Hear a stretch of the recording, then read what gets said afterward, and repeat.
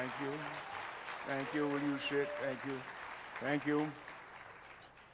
I take it that that was a salute to antiquity. And uh, on their behalf, I accept it. Seriously, um, I salute all of those who have had to do with not just memorializing and perpetuating, but saluting the great life of Samuel Proctor. Our country has produced no one who has enjoyed so many places which really could have been considered the climactic posts of a life, as did Samuel Proctor. And in almost all of them, except one, he honored the place more than it honored him. My regard for the church would make the exception of the Abyssinian church. It honored him more than he honored it. But every other place, he honored the place more than it honored him.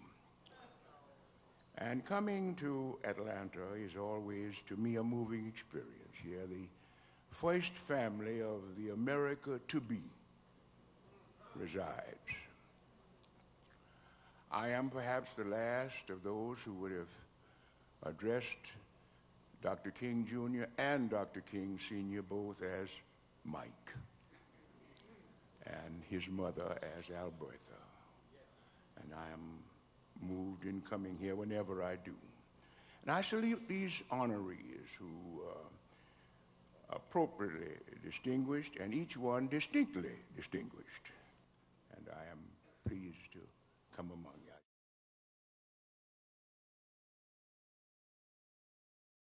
It was um, Abraham Heschel in his time, uh, taught up at the, the heights where my friend Dr. Cone teaches and others, who used to say that every hour is loaded with peril and possibility because there is no moment not charged with the divine.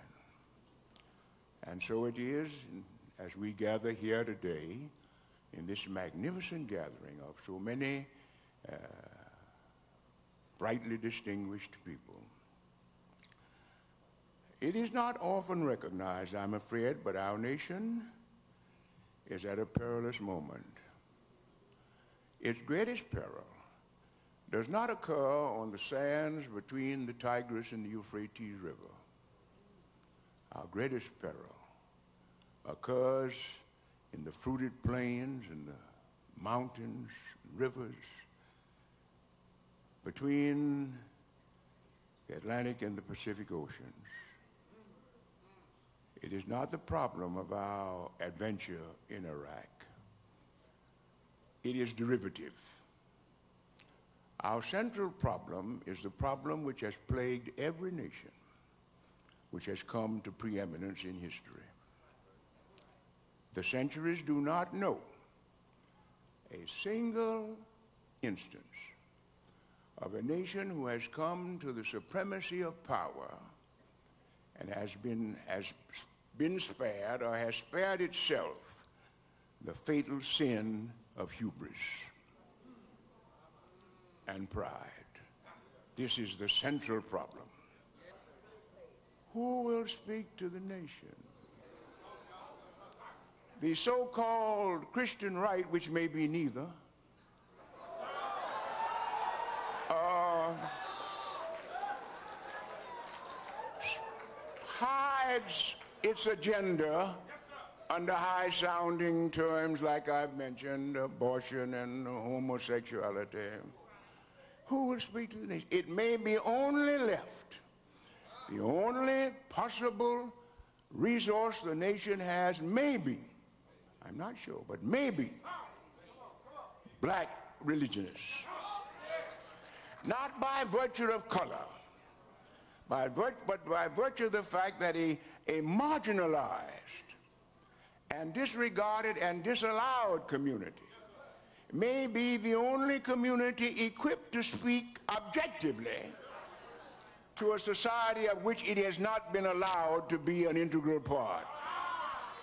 And that is the day, the virtue of blackness. Not just color, but previous condition of servitude.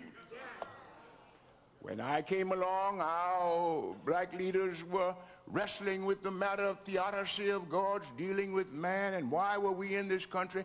Well, we may be in this country now to save it. If we will. If we have not been sufficiently drafted too into this materialism. In that book, which Sam Proctor honored me in allowing me to be a part, I'm going to read to you a paragraph.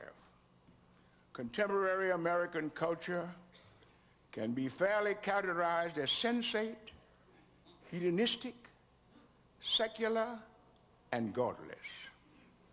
Sadly, the church and church leadership have made peace with this materialistic emphasis. We have mimicked the corporate culture and the consumer ethos with a blind servitude, and we have behaved in ways alien to the spirit of the Lord, of the Lord Christ.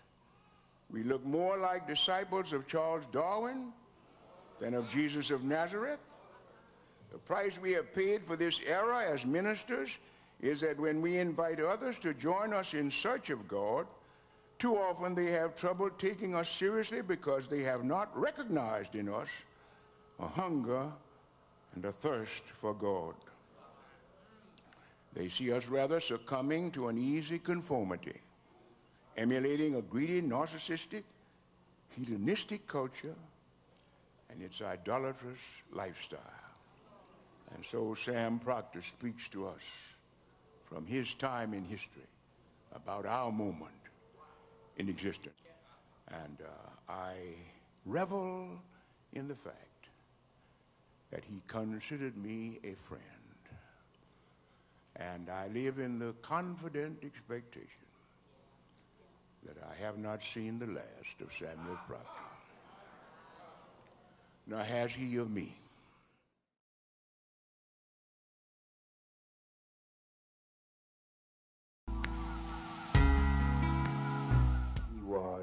Virginia Union as dean.